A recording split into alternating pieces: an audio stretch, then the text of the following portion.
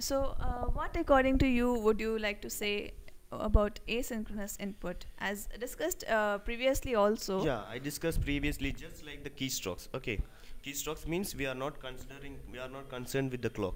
So these are the examples: Okay. the keystrokes or sensor inputs, and data received from a network where transmitter has its own clock. So, but uh, I understand that uh, not all inputs are synchronized here with the clock. Yeah. So, and uh, that means they all uh, behave in an individual fashion.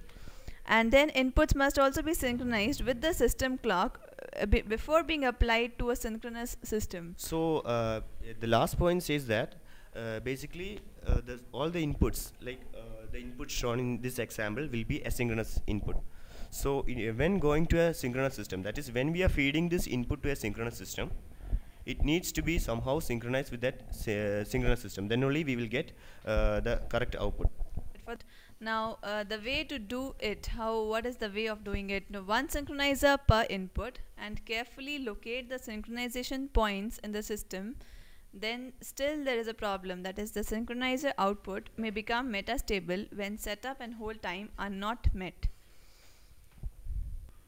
Uh, so this is actually the um, uh, main important uh, the desired way of implementation of this. And uh, there is uh, but there may be a small chance of uh, metastability maybe you know? Yeah.